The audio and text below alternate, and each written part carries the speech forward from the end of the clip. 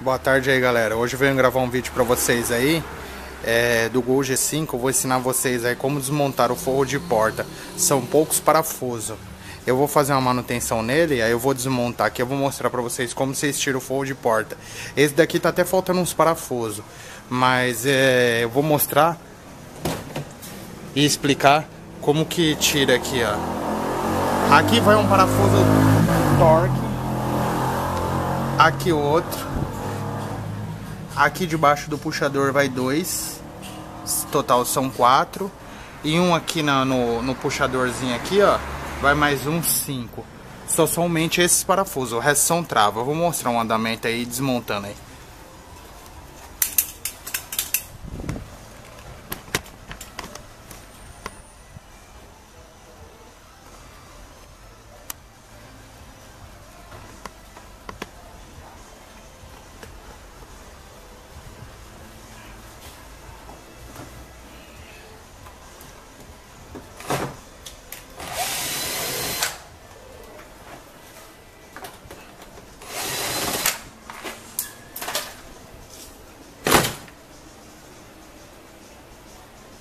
Aqui tá com um parafuso Phillips que alguém colocou, mas na verdade usa, se eu não me engano, é Torque T15, o número da Torque.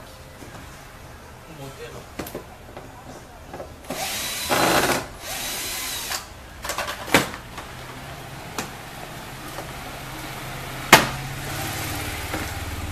Aí galera, você pega aqui ó, quando as travas geralmente é duro quando nunca foi desmontado.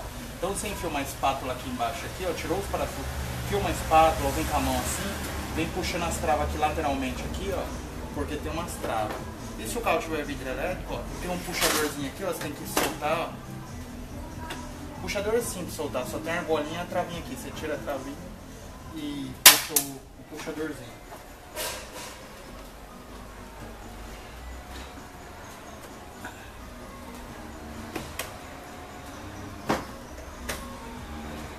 Aí ó, como o carro tem vidro elétrico, é, é, é, fácil tirar o fio do botão, ó.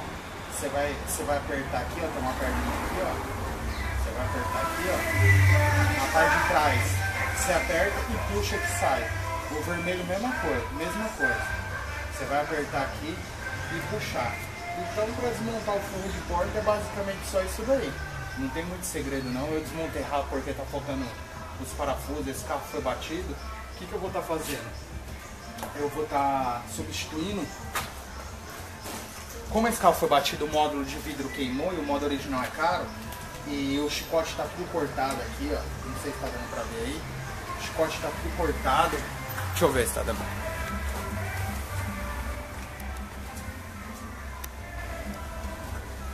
Igual pra você, esse carro foi batido, então o chicote está tudo cortado, porque a porta foi trocada, ele comprou uma porta já vai com os vidros elétricos.